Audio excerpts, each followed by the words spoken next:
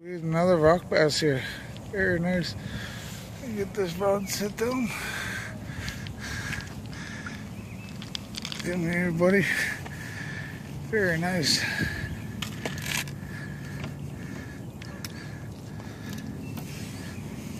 Very nice rock bass. Nice catch.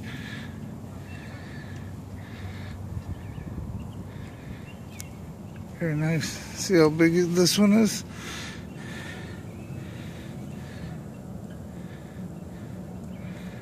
It's about 11 inches as well.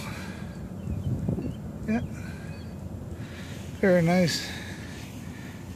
Trying to get this hook out here. Very nice. It's my well, third, fourth one now.